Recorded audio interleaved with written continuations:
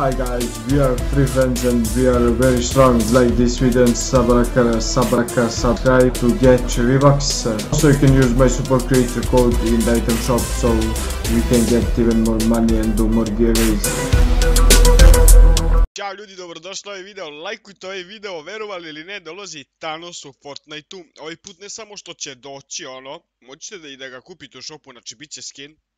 Prvi put kad je bio, imali smo samo onaj mod da igramo s njim. Sada ga možete kupiti, ali 21. juna možete igrati kup koji traje 3 sata i možete ga osvojiti. Više o detaljima o Thanosu i o kupu možete vidjeti na na, na Fortnite sajtu i također morate biti bar 30. level i morate imati dva, morate da imate dva fa makarena, dva fa uključeno na vaš account, na vaš account zato što ako nemate e, ono, nećete dobiti pa čak i da osvojite. Znači ne možete osvojiti.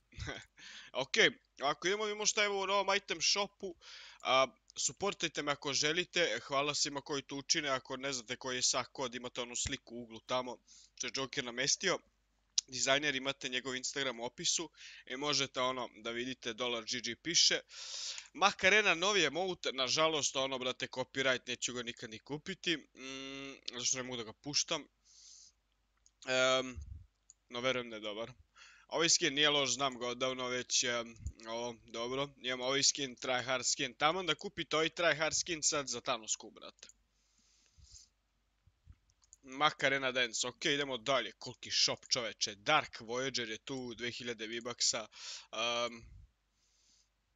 Brawler, Living Large, large Dev, Toasty, hm, Pro sam pojeo sandvič.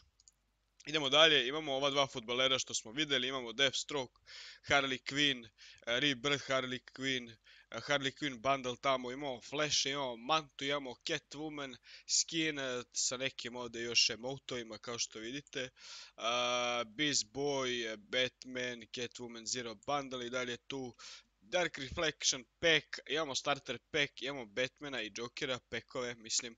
I to je to. Da sam vam pomogao, lajkujte video, vidimo se u sljedećem i želim vam lep ostatak dana. Ćao, čao ljudi.